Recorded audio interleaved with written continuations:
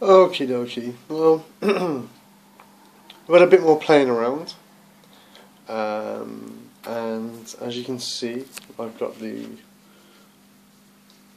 little six pot thing on the go there, and we're pulling in two and a half volts or thereabouts.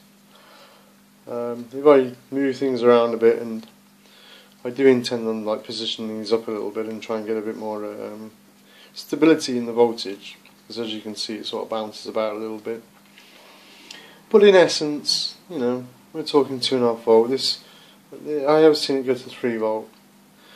Um, but it is down to how my connections are. None of these connections are soldered uh, they're all basically um, you know just, just, just ruts a bit of wire wrapped around the around the nail there you know. Um, and then when I put it back in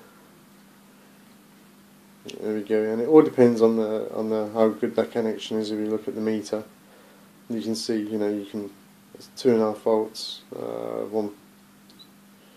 So it's you know, a lot of it's down to how this connects in here, and when these are soldered, um, that will make that a better connection all round, and it'll be more stable. Uh, but at the minute, I've just set that down to this two and a half volts.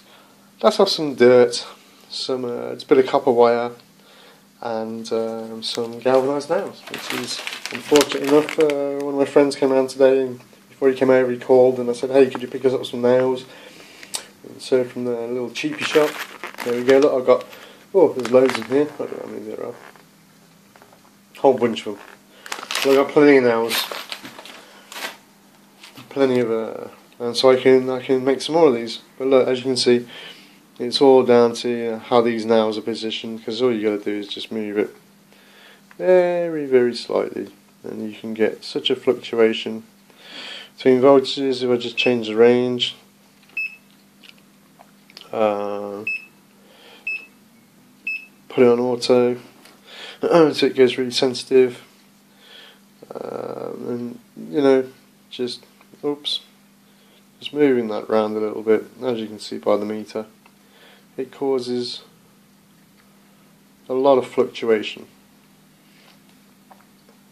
And the more sensitive I put that meter on, of course, the more we're going to see the change. As you saw, then it's 23, as it started off on 25.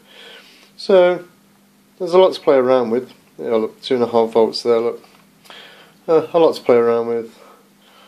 Um, there you go. You can get energy from some garden mud, nothing else.